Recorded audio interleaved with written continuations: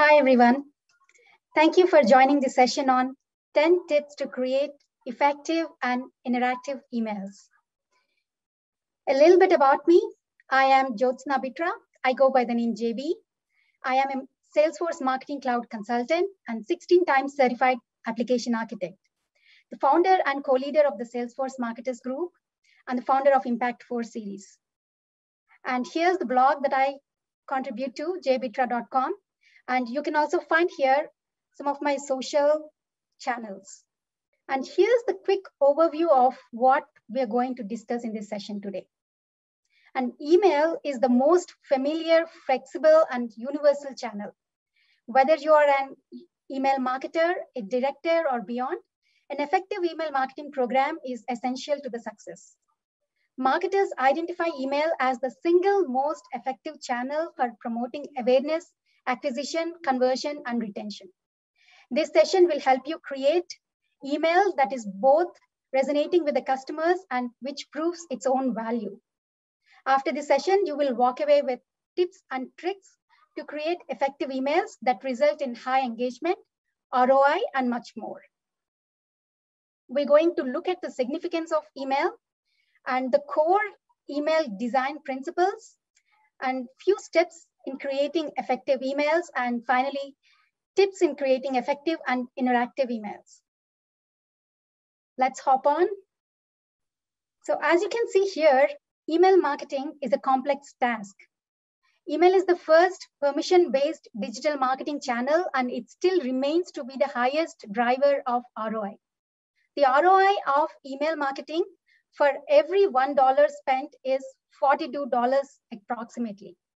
It's one of the earliest touch points that you can use to connect with your customers. 64% of consumers prefer email when communicating with brands. And it takes data-driven decisions as well as a thoughtful touch to create email that moves customers closer to important move moments. Creating interactive experiences has been in the top two email design trends over the past three years. But creating an impactful email can be tricky. Email marketing is a complex task and it takes time, energy, and resources. Email's ability to deliver targeted and exclusive content continues to make it as a sound investment of marketing, time, and money to reach the customers where they anticipate hearing from you. It's almost like 40 times more effective as a marketing tool than Facebook and Twitter combined together. Let's look at few of the email design principles.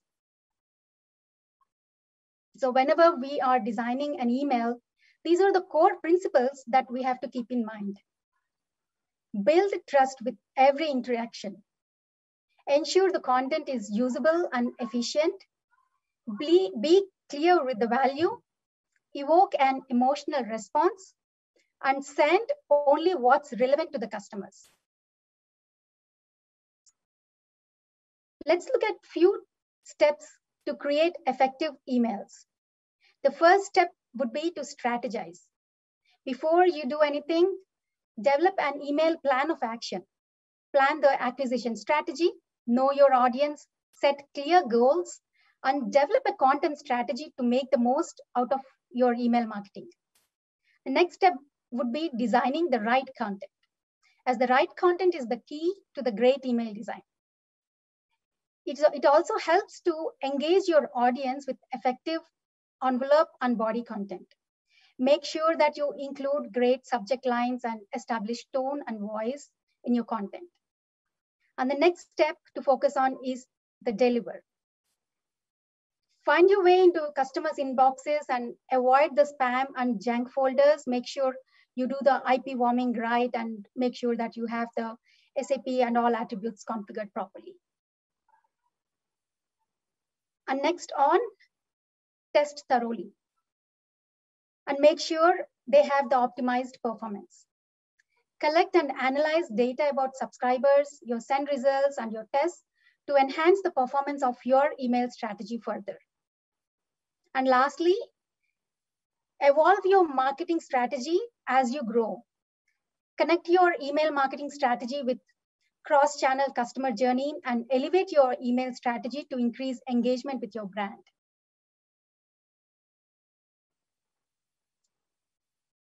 Let's dive in to learn a few tips for creating effective and interactive emails.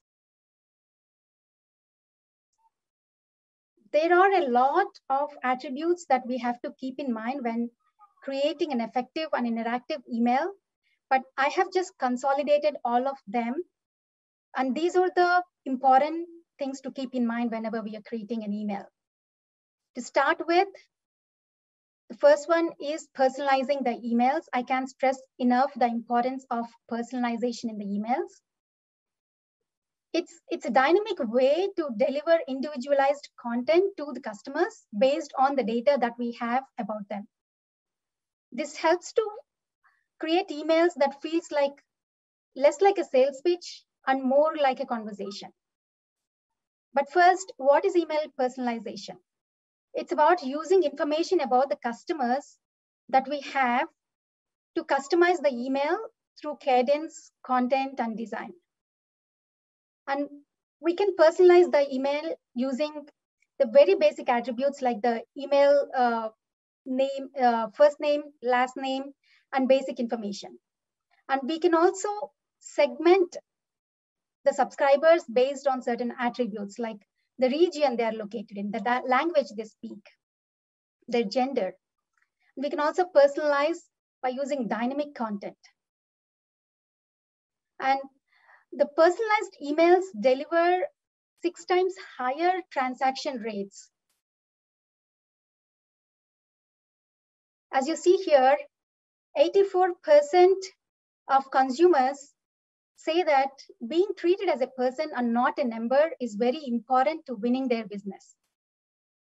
This is very important thing to keep in mind.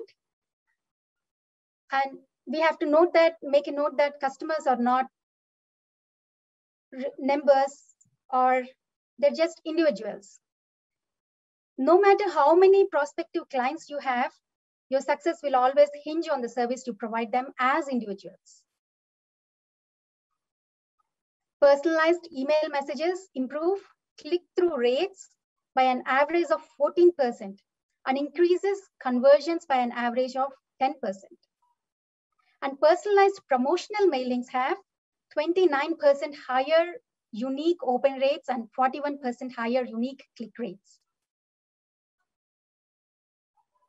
As you see in this example email design here, this email design has all the components of personalization. At the very top, it includes the name of the recipient. It includes personalized recommendations based on similar subscribers' behavior. It also uses dynamic content to share a link to the subscriber's local branch advisor, or it includes some call to actions where they can go further and take some actions.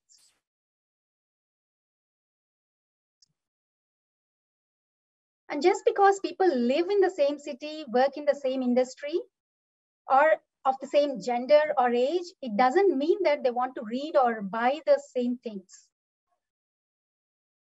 A brand interaction should reflect on the person's individuality.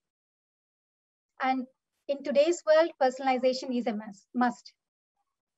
Here's the sample personalization data that you can include in your email design. It could be the customer status, geolocation, past email interactions, past purchases. It could also be the third party data about the subscriber, their gender, race, ethnicity, uh, expressed preferences. They might have expressed their preferences via uh, a profile center or a preference center. And you can also customize based on the things the subscribers own. Here's an example of an email design by Airbnb. As you can see here in this picture, at the very top, they have the images and also they have this dynamic content uh, of the events that are happening around their scheduled trips. They may be having some information about the subscribers initially. So they are going to use that information to pull in dynamic data into the email design.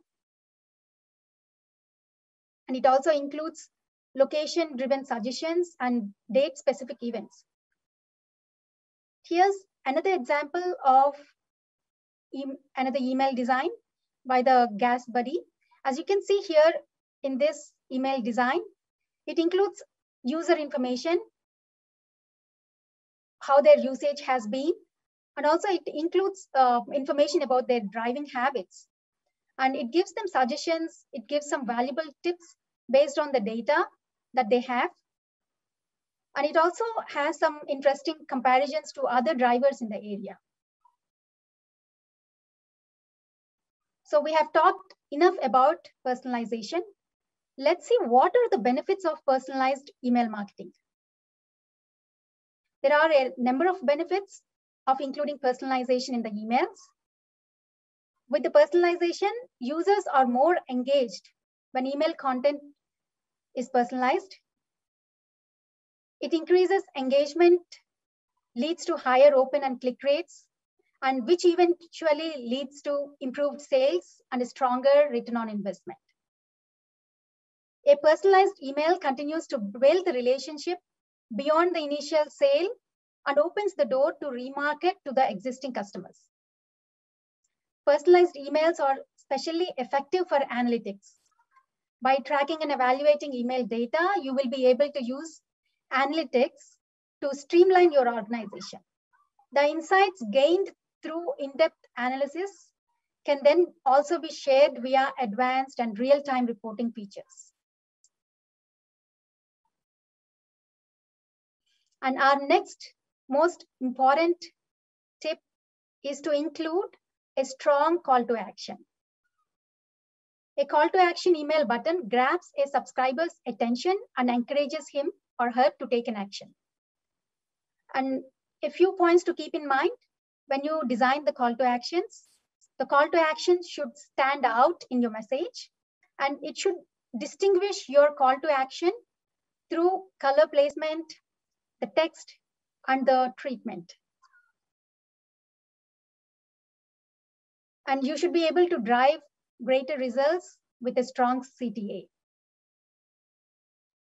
Make your call to action in the email specific and relevant. Here's an example of few emails which has a great call to actions included. If you look at each of these email designs, the button is visible, eye-catching, and hard to ignore. When brands incorporate call to actions, they are compelling users to do more than beyond just reading the emails. It encourages them to click on those buttons or click on some specific links through which they'll be directed to a brand's web page, a product page, from where they can learn more about the brand and they can make purchases and do more.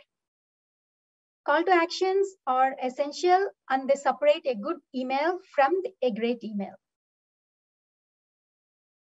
Here's a quick sna snapshot of another email which has a good call to action and few more tips I have included here.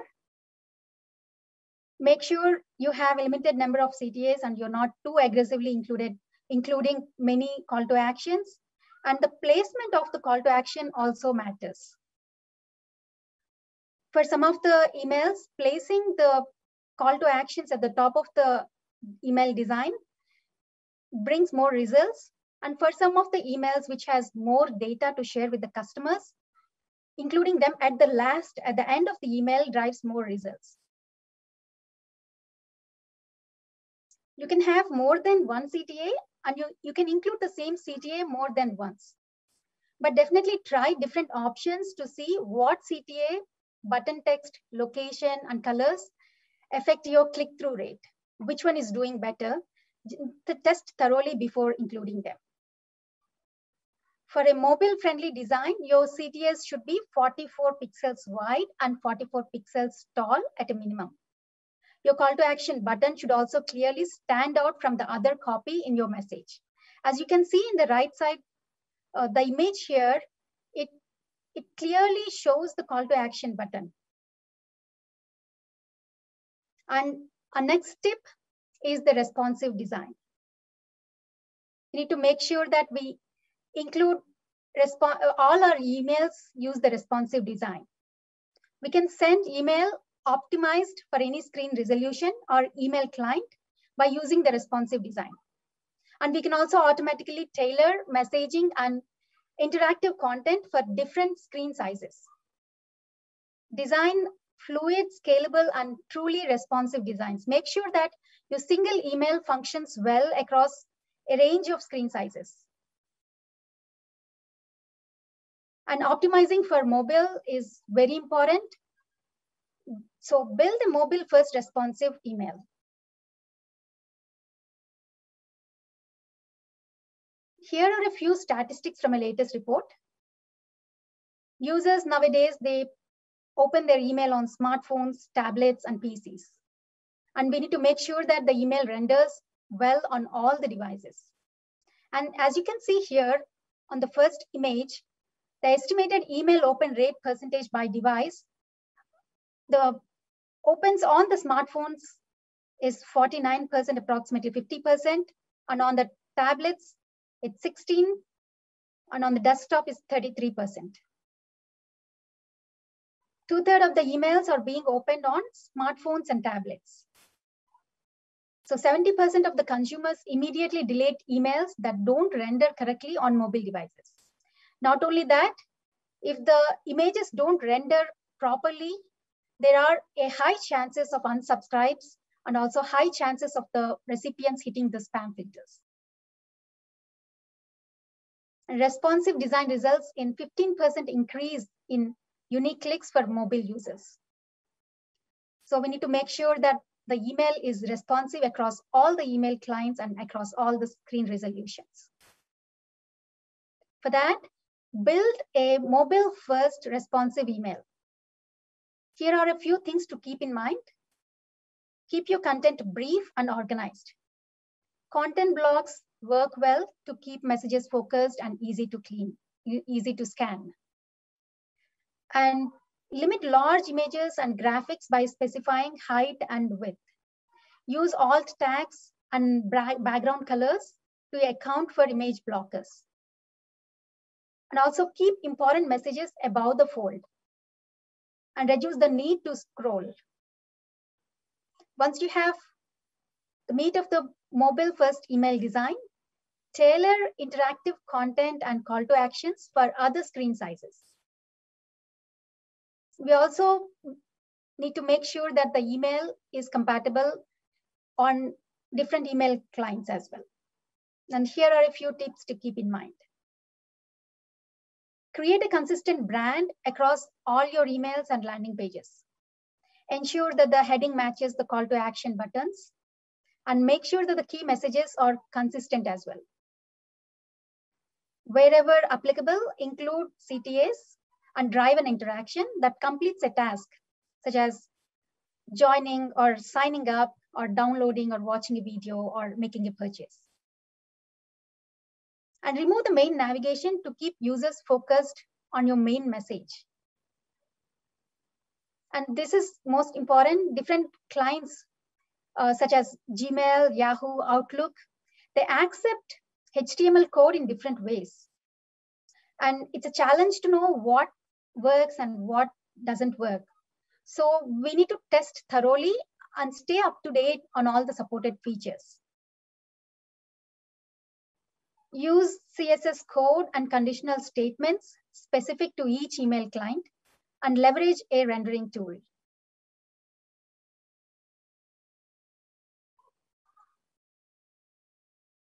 And dark mode is gaining popularity and users prefer to read their emails in the dark mode. What is a dark mode? Dark mode inverts the colors on your device to decrease the amount of light on your screen. More like inverting the white background to black background, black text to white text. Many users prefer dark mode because it's easier on the eyes. Light text on a dark background is much better for minimizing eye strain, especially in low light situations. It reduces screen brightness, saving your battery life.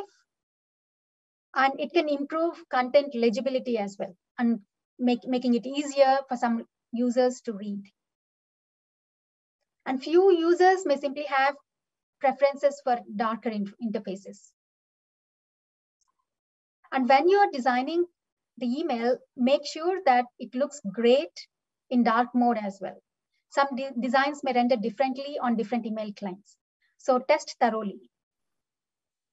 Just because that you're sending a huge volume of emails to the recipients, it doesn't mean that it's going to land in their inboxes. we need to make sure and keep many things in mind before we send the emails. Use double opt-ins such as email or SMS to confirm with the new subscribers after they fill out their form. This ensures that you're sending emails only to the engaged subscribers and only to the subscribers who want to receive our emails. And make sure subscribers know what they are getting. And whatever we are sending, make sure it is relevant. Do the IP warming thoroughly and use a sender authentication package to optimize email deliverability and establish a positive sending reputation keep the subscriber list clean and segment subscribers who haven't opened or who are less active and send re-engagement emails to them. And abide by the CAN-SPAM Act by including the unsubscribe links and unsubscribe and honor the unsubscribe request timely and choose the appropriate from address and physical mailing address in the email.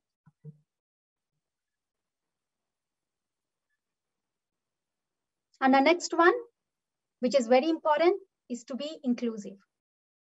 We need to make sure that whatever message that we are designing, it is meant for everybody in the audience. And be considerate of individuals' needs and make the email accessible to everyone. Here are the six principles of inclusive marketing. Start with the tone, be intentional with language, ensure representation, consider context, avoid appropriation and counter stereotypes. The next one is to stay relevant. This is very important when we are coming up with the content in the email because email subscribers, they want relevance. And it is very important for a marketer to not send uh, to not black, batch and blast emails. We need to shift our mindset from asking what do we want to show each person to asking what does each person want to see. Start from the customer first. Consider your audience and think about why are they receiving the message? Does it address what they're trying to do or what they want? And focus less on the sell and think about what the customer needs. Focus on the marketing triple threat. Make sure that you're connecting with them with the right content, right audience, and at the right time. The next one, set a content hierarchy. Order your con content so the important message is visible before any scrolling. From there, ensure every piece of content directs the reader where to go next and why. Keep this in mind when you design emails and address this prior. Can your subscribers answer what, why, and how in a single glance? Let's take a look at an example email. Here's the example of an email. So if you look at the email, it grabs the attention from the beginning with good images and call to action buttons and some uh, other content in here, nice subject lines, and a simple template. The way that all the elements are included in this email is very important. And also make sure that you use the inverted pyramid principle to direct your reader's attention to those parts of the email that contain the most important information. Make sure the subject line is catchy and engaging. And the golden rule for content width is 600 640 pixels wide, and it should be relevant and personalized. That brings us to our most important tip about using interactive elements and taking the personalization to the next level. So interactive email forms helps in bo boosting engagement and collecting more data. It allows for more personalization. And it helps the customers complete forms and surveys without leaving the in inbox. So many a times people want to give their opinion, but when it com comes to completing the task or spending time on a survey, or if they have to browse through multiple, multiple pages, they often pass. So as a marketer, we need to have, uh, we need to make sure that we make it easy and quick for the customers to give the data that we need. For that, we can use interactive email forms and include some of the components in the email itself so the customer can fill in those information without leaving the inbox. It helps us to collect more data and do progressive profiling. And using the data, we can drive more personalization. It also helps to boost engagement and get results. Another form of interactive component is AMP for email. AMP for email has some important and interesting features. It allows to really build out things like carousels and sliders or add some animation to an email. You can take campaigns way further by using its data binding features and the ability to interact with servers via your email. So you can dynamically inject content, content and data into your campaign based upon the customer's interactions with your brand. An example of that could be a store locator email let's say a user gets an email and he fills out his zip code and when he inputs his zip code, he will get a list of all the closest stores. And this all happens in real time and within the inbox.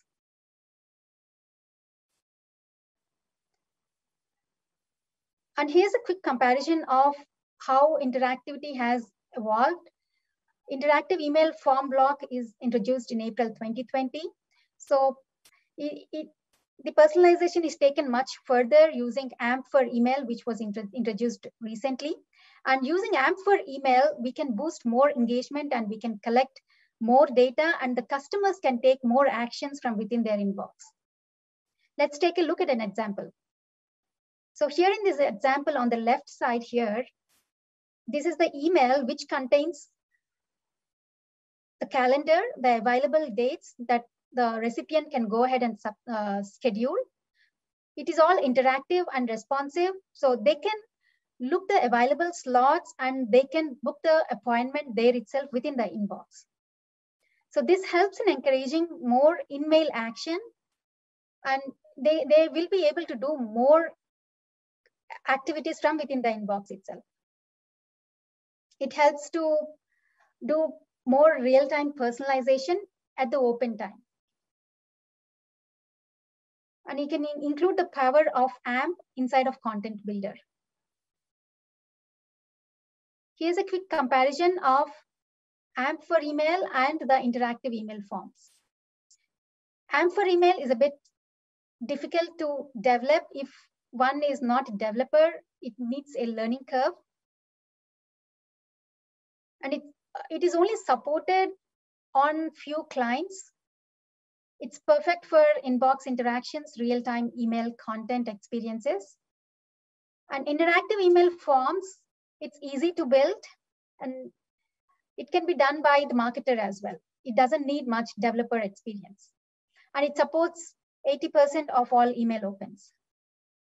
And you can use it for creating interactive forms. And also we need to make sure uh, that we have the fallback content in place for all for the AMP for email components in there. So we can use the interactive email as a fallback experience for AMP for email. Let's take a look at an example of the fallback content. On the right side, you see the AMP version of the email. In here, you see a carousel of images you can scroll through.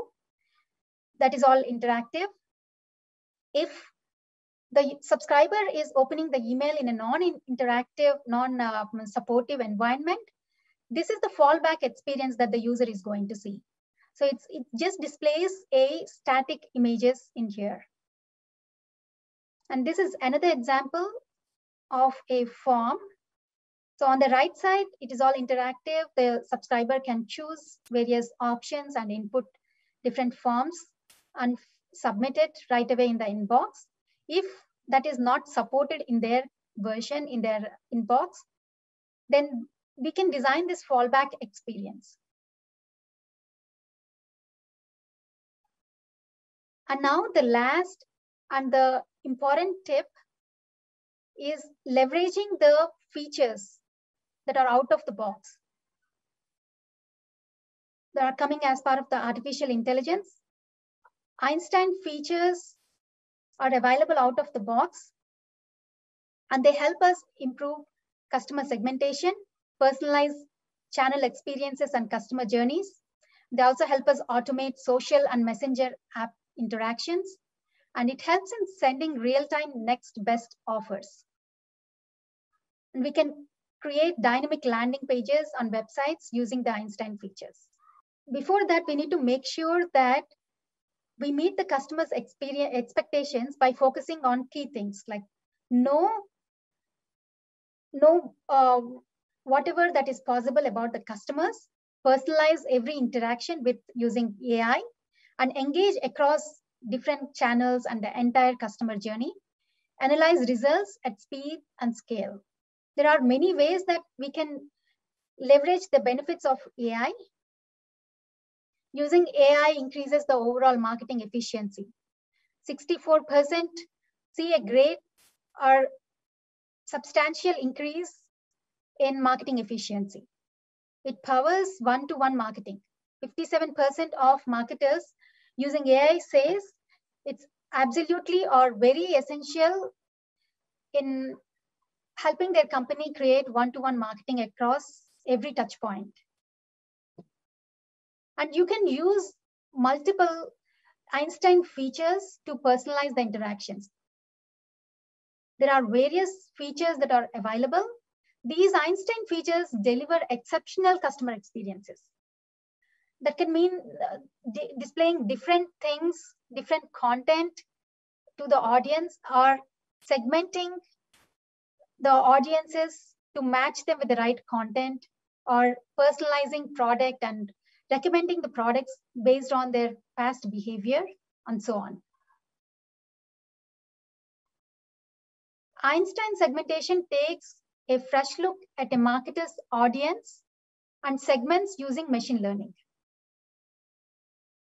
And the next one, Einstein engagement scoring is an advanced subscriber segmentation tool that assigns a score based on a subscriber likelihood to open an email or click or unsubscribe.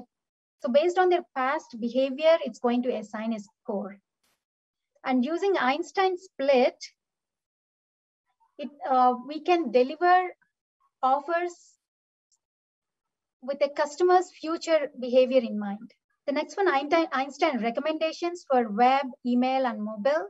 It collects behavior from channels across, um, across different channels and even the offline channels, maybe point of sale, offline um, customer records. It then uses the machine learning to create a profile of preferences for each customer. And then the Einstein engagement frequency. It identifies how many emails to send and which subscribers are emailed too often.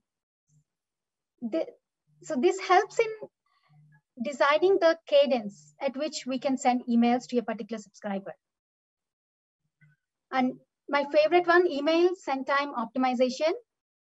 It, it helps the marketers uh, to reach out to the to deliver the emails to the audience at the time that they want to read the emails. And last but not the least is the Einstein content selection. So this, this can greatly help in personalizing the emails. So it can help to boost the click to open rate. It, it, it, it also helps to uh, create engaging emails. So it, it gives us suggestions about the content that the user would more, most likely to read. And based on those suggestions, we can include those into the email design and we can optimize And we can define rules to increase the lifetime of assets and meet your business goals. Here's a recap of what we have discussed so far. We have looked at the importance of the email and we have also touched upon the core design principles of creating a great email experience. That is trust, usability, clarity, emotion, and relevancy. We also looked at the five main steps for creating effective emails. That is strategize, design, delivery, analyze, and elevate.